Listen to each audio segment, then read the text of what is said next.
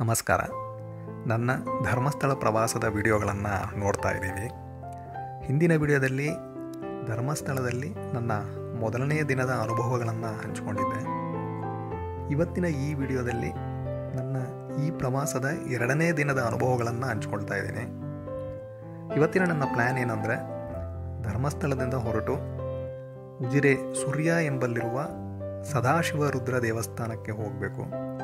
ಅಲ್ಲಿಂದ ಕುಕ್ಕೆ ಸುಬ್ರಹ್ಮಣ್ಯಕ್ಕೆ ಹೋಗಿ ನಂತರ ಅಲ್ಲಿಂದ ಬೆಂಗಳೂರಿಗೆ ವಾಪಸ್ ಹೋಗಬೇಕು ಅನ್ನೋದು ನನ್ನ ಪ್ಲ್ಯಾನ್ ಸಮಯ ಸಿಕ್ಕಿದರೆ ಇಲ್ಲಿ ಧರ್ಮಸ್ಥಳದಲ್ಲಿರುವಂತಹ ಇತರ ಸ್ಥಳಗಳು, ಬಾಹುಬಲಿ ಮೂರ್ತಿ, ಅಣ್ಣಪ್ಪ ಸ್ವಾಮಿ ಬೆಟ್ಟ, ಇವೆಲ್ಲವನ್ನು ನೋಡಬೇಕು ಅಂತ ಅಂದ್ಕೊಂಡಿದ್ದೀನಿ ಸಮಯ ಹೇಗೆ ಆಗುತ್ತೆ ಅನ್ನೋದನ್ನು ನೋಡಬೇಕು.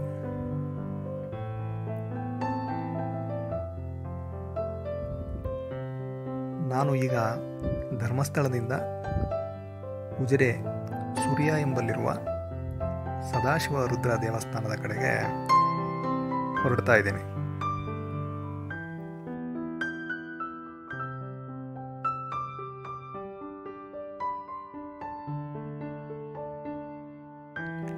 ಈಗ ನಾನು ಉಜಿರೆ ಸೂರ್ಯ ಎಂಬಲ್ಲಿರುವ ಸದಾಶಿವ ರುದ್ರ ದೇವಸ್ಥಾನಕ್ಕೆ ಬಂದಿದ್ದೇನೆ. ಇದು ಇಲ್ಲಿನ ಪಾರ್ಕಿಂಗ್.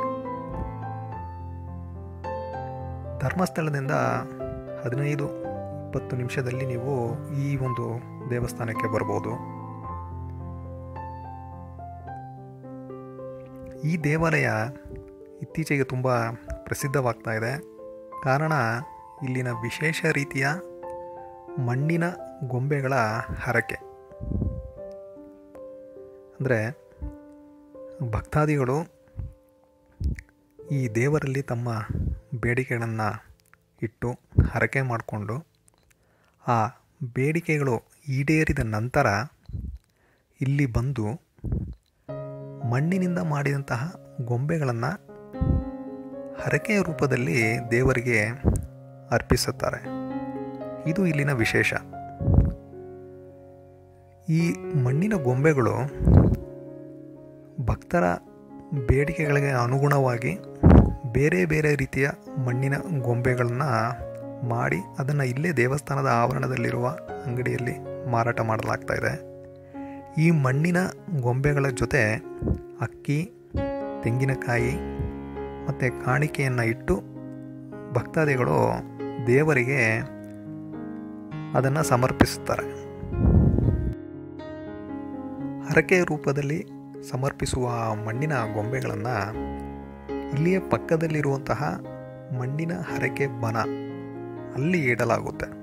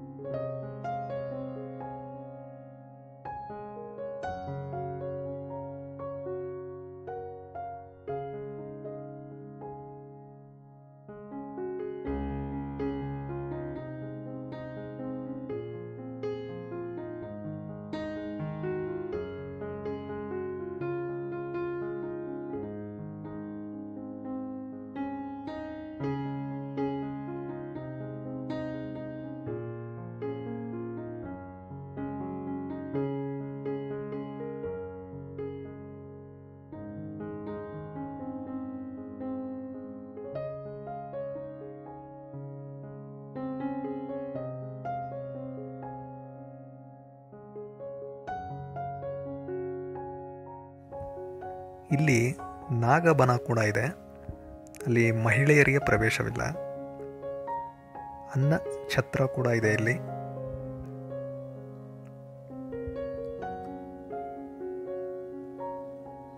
ಇಲ್ಲಿ ನಿಮಗೆ ಮಣ್ಣಿನ ಹರಕೆ ಗೊಂಬೆಗಳು ಸಿಗುತ್ತೆ. ಇದು ಮಣ್ಣಿನ ಹರಕೆ ಬನಕ್ಕೆ ಹೋಗೋದಕ್ಕೆ ಡೈರೆಕ್ಷನ್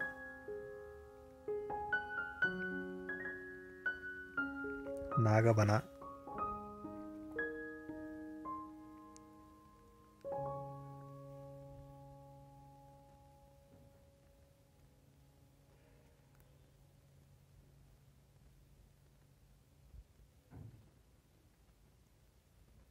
ಅನ್ನಚಿತ್ರಕ್ಕೆ ದಾರಿ.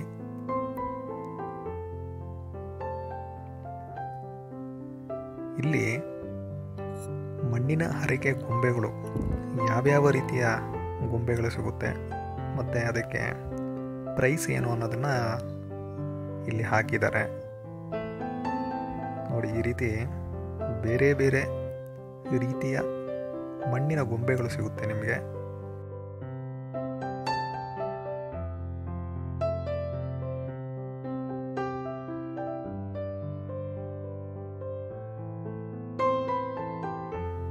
ನಾನು ಇಲ್ಲಿ ದೇವರ ದರ್ಶನವನ್ನು ಮಾಡಿಕೊಂಡು ಮತ್ತೆ ಧರ್ಮಸ್ಥಳದ ಕಡೆಗೆ ಹೊರಟೆ. ಧರ್ಮಸ್ಥಳಕ್ಕೆ ಹೋಗುವ ದಾರಿಯಲ್ಲಿ ಶ್ರೀರಾಮ ಕ್ಷೇತ್ರ ಎನ್ನುವ ಒಂದು ದೇವಾಲಯ ಇದೆ. ಅದನ್ನು ಸಹ ನೋಡ್ಕೊಂಡು ಹೋಗೋಣ ಅಂತ ನಾನು ಈ ದೇವಸ್ಥಾನಕ್ಕೆ ಬಂದೆ. ಅಂದರೆ ಧರ್ಮಸ್ಥಳದಿಂದ ಉಜಿರೆಗೆ ಹೋಗುವ ದಾರಿಯಲ್ಲೇ ಈ ದೇವಸ್ಥಾನ ಇದೆ. ನಾವು ಉಜಿರೆಗೆ ಹೋಗಿ ವಾಪಸ್ ಬರಬೇಕಾದ್ರೆ ಈ ದೇವಸ್ಥಾನಕ್ಕೆ ಬಂದ್ವಿ. ಇದು ಉತ್ತರ ಭಾರತದ ದೇವಾಲಯಗಳ ಶೈಲಿ ಏನಿದೆ, ಆ ರೀತಿ ನಿರ್ಮಾಣ ಮಾಡಲಾಗಿದೆ ಈ ದೇವಸ್ಥಾನವನ್ನು. ಇದು ಒಂದು ರಾಮನ ದೇವಸ್ಥಾನ. ಧರ್ಮಸ್ಥಳದಿಂದ ಒಂದು ಹತ್ತು ನಿಮಿಷ ಆಗ್ಬೋದು ಇಲ್ಲಿಗೆ ಬರೋದಕ್ಕೆ ಅನಿಸುತ್ತೆ.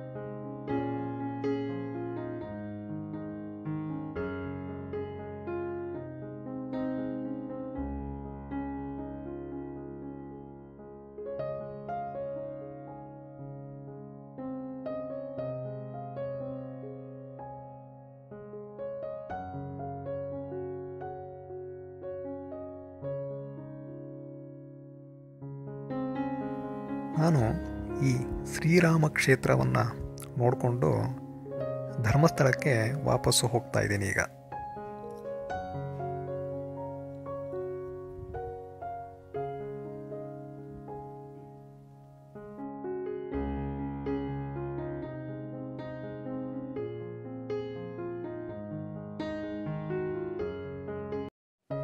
ಈಗ ನಾನು ಉಜಿರೆಯಿಂದ ಧರ್ಮಸ್ಥಳಕ್ಕೆ ವಾಪಸ್ ಬಂದಿದ್ದೇನೆ. ಸುಮಾರು ಹನ್ನೆರಡು ಗಂಟೆ ಆಗಿರ್ಬೋದು. ಸ್ವಲ್ಪ ಸಮಯ ಇರೋದರಿಂದ ಇಲ್ಲಿರುವ ಅಣ್ಣಪ್ಪ ಸ್ವಾಮಿ ಬೆಟ್ಟಕ್ಕೆ ಹೋಗಿ ಬರೋಣ ಅಂತ ನಾನು ಇಲ್ಲಿಗೆ ಬಂದಿದ್ದೀನಿ ಈಗ. ಅಣ್ಣಪ್ಪ ಸ್ವಾಮಿ ಬೆಟ್ಟವನ್ನು ನೋಡಿಕೊಂಡು ನಾನು ರೂಮ್ಗೆ ಹೋಗಿ ಚೆಕ್ಔಟ್ ಮಾಡಿಕೊಂಡು ಅಲ್ಲಿಂದ ಕುಕ್ಕೆ ಸುಬ್ರಹ್ಮಣ್ಯದ ಕಡೆಗೆ ಹೋಗಬೇಕು ಅನ್ನೋದು ನನ್ನ ಪ್ಲ್ಯಾನ್ ಇದು ಅಣ್ಣಪ್ಪ ಸ್ವಾಮಿ ಬೆಟ್ಟ. ಇಲ್ಲಿ ಮಹಿಳೆಯರಿಗೆ ಪ್ರವೇಶವಿಲ್ಲ.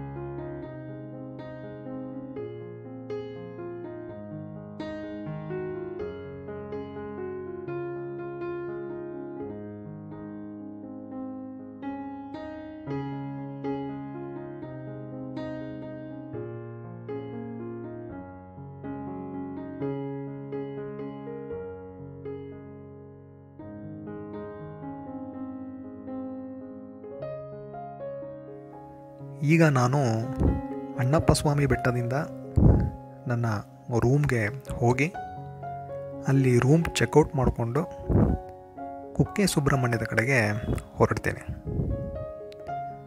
ಈಗ ನಾನು ಶ್ರೀ ಕ್ಷೇತ್ರ ಕುಕ್ಕೆ ಸುಬ್ರಹ್ಮಣ್ಯದಲ್ಲಿದ್ದೀನಿ. ಸಮಯ ಸುಮಾರು ಮೂರುವರೆ ನಾಲ್ಕು ಗಂಟೆ ಇರಬಹುದು.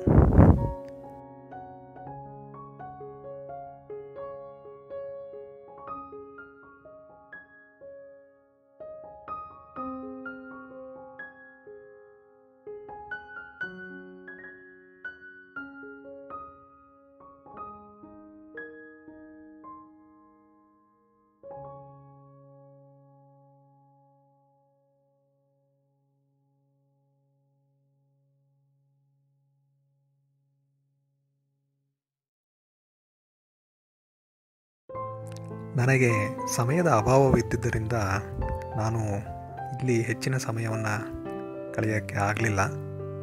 ಆದ್ದರಿಂದ ನಾನು ಇಲ್ಲಿ ದೇವರ ದರ್ಶನವನ್ನು ಮಾಡಿಕೊಂಡು ಕುಕ್ಕೆ ಸುಬ್ರಹ್ಮಣ್ಯದಿಂದ ಬೆಂಗಳೂರಿನ ಕಡೆಗೆ ಹೊರಟೆ ನಾನು. ಈ ಎರಡು ದಿನದ ಪ್ರವಾಸ ಏನಿದೆ ಅದು ತುಂಬ ನನಗೆ ಸಂತೋಷವನ್ನು ಹಾಗೂ ನೆಮ್ಮದಿಯನ್ನು ನೀಡಿದೆ. ತುಂಬ ಒಂದು ಮೆಮೊರಬಲ್ ಟ್ರಿಪ್ ಅಂತ ಹೇಳ್ಬೋದು. ಈ ವಿಡಿಯೋ ನಿಮಗೆ ಇಷ್ಟ ಆಗಿದೆ ಅಂತ ಅಂದ್ಕೊಳ್ತೀನಿ. ಧನ್ಯವಾದಗಳು.